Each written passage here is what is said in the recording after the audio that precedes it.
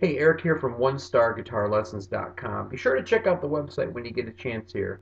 Uh, we're going to talk about a song by Eddie Rabbitt called Driving My Life Away. We're going to start with an E chord. And the strumming pattern that you're going to hear me doing throughout most of the song is down, down, up, down, up, down, down, up, down, up, down, down, up, down, up. So the song starts out.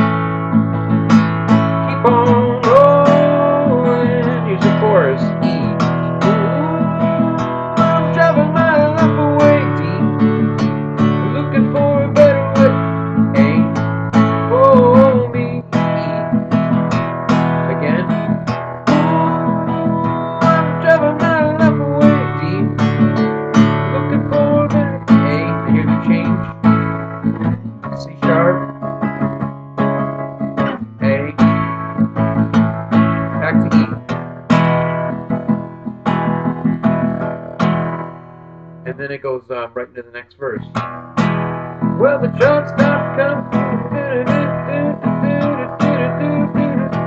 Back to A.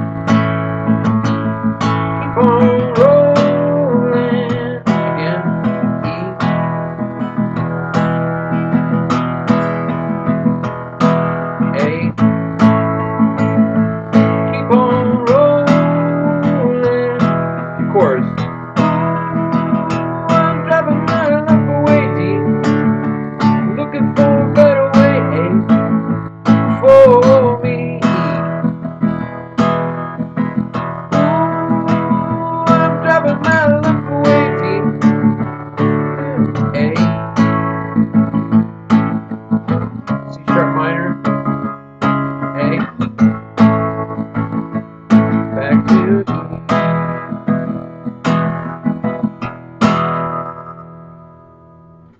much the song uh, repeats again those same chords, and the chorus you just keep repeating the same progression.